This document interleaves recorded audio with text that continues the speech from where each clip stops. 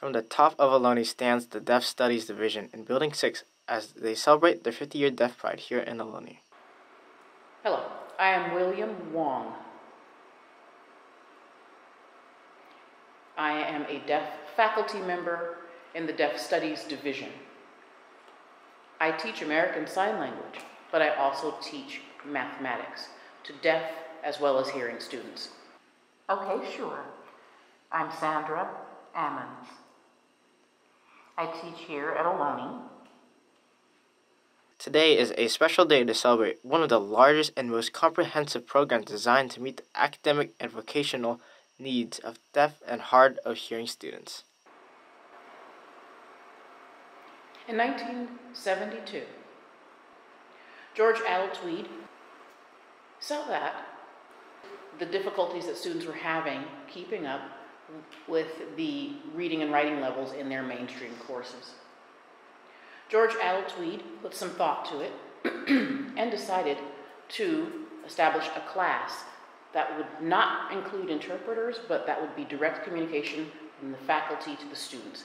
Other colleges were not interested in doing something like that, but Ohlone accepted the challenge and welcomed George Tweed to the campus. It is very important, significant recognition.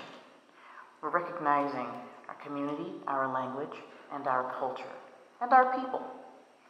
So who the people are that are carrying on the culture and the language of the deaf community. It's significant. Uh, the college has had deaf programs and services, ongoing support for deaf students. The 50 years of Deaf Pride means that we have been here on campus for 50 years.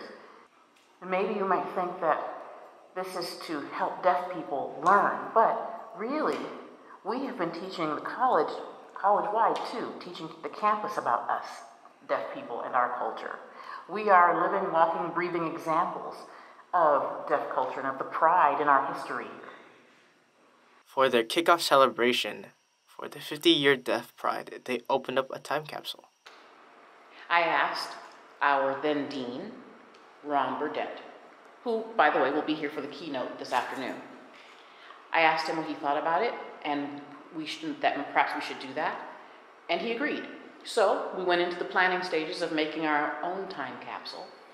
We asked for submissions from students then, from George Tweed's wife, because George Tweed was responsible for establishing the Deaf Studies Division and has since passed away. So his wife was there to speak at the time capsule ceremony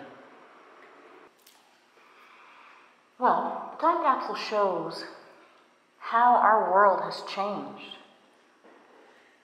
That the artifacts that we had in the past may be obsolete. Some of them may not be in use anymore. And so it'll be fascinating to see what artifacts are pulled out of the time capsule. With the 50 year mark done, this is just the tip of their success and more to come for the Deaf Studies Division. From Millennium Fremont campus, this is Andrei Domantay with Tri City News.